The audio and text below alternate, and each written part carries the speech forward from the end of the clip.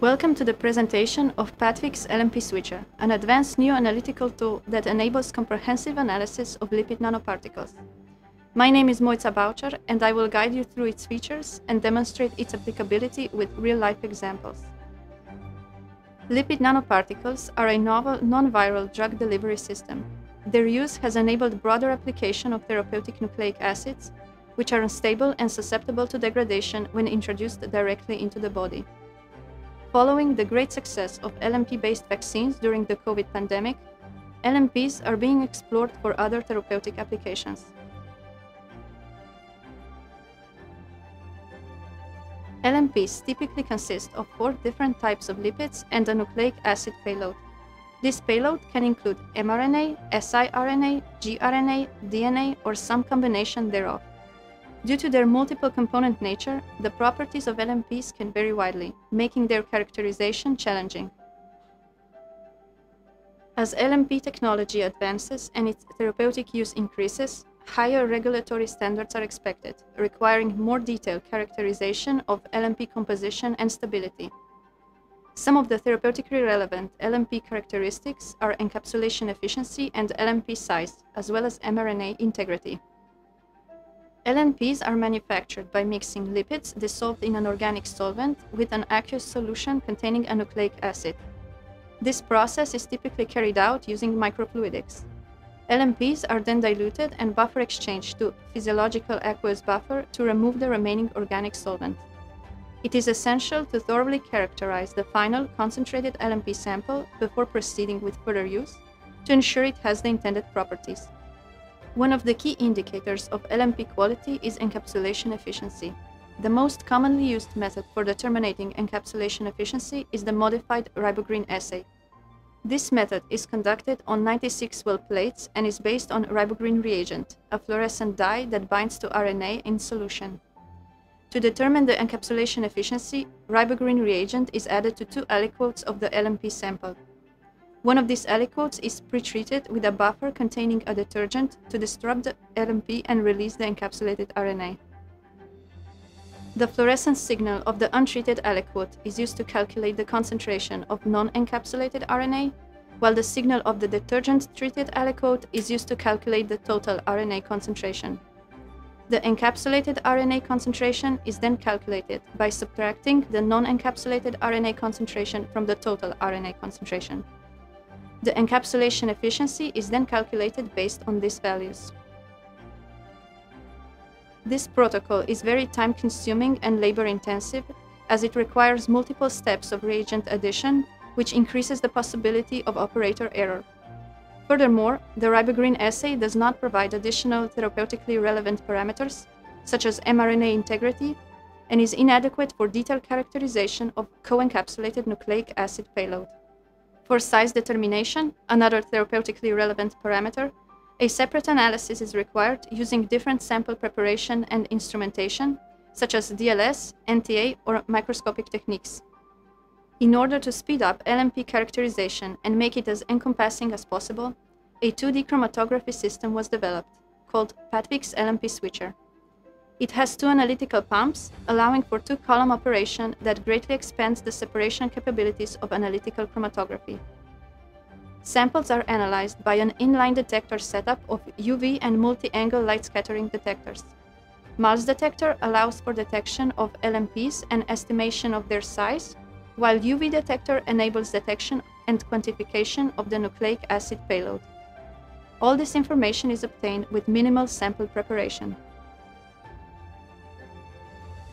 The PATFIX LNP switcher requires two columns for operation. The first stage of the process involves the use of a hydrophobic OH column, which separates non-encapsulated nucleic acid from LNPs. Subsequently, the two species are analyzed individually on reverse phase SWB column in ion pairing mode. This enables the separation of different nucleic acid species and the evaluation of mRNA integrity. During analysis, non-encapsulated nucleic acid passes through the OH column to the SWB column, where it is bound and eluted based on length, while LNPs remain bound to the OH column. In the next step, LNPs are eluted from the OH column, bound and opened on the SWB column. The encapsulated nucleic acid is released for analysis in the same way as the non-encapsulated nucleic acid in the previous step. When LNP samples are produced, the LNP switcher is used for characterization, eliminating the need for separate instruments that require considerable sample handling.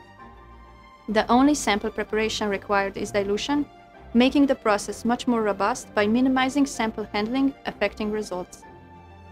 This sample chromatogram shows an LNP encapsulating mRNA. The two signals are absorbance at 260 nanometers in red and a light scattering at 90 degrees in black. The chromatogram is divided into four sections, corresponding to the four steps of the analysis load, non-encapsulated mRNA analysis, LNP elution, and encapsulated mRNA analysis. In the light scattering signal, a peak is observed in the LNP elution section when LNPs are eluted from the OH column. This signal allows for the estimation of LNP size. In this demonstration, we will focus on the information provided by the absorbance signal. A peak is observed in the first analysis, representing non-encapsulated mRNA, while the absorbance peak in the second analysis corresponds to encapsulated mRNA. The concentration of both mRNA species can be determined from the calibration curve of the mRNA standard based on the absorbance peak area obtained by integrating each peak. By comparing the concentration of both peaks, encapsulation efficiency can be calculated.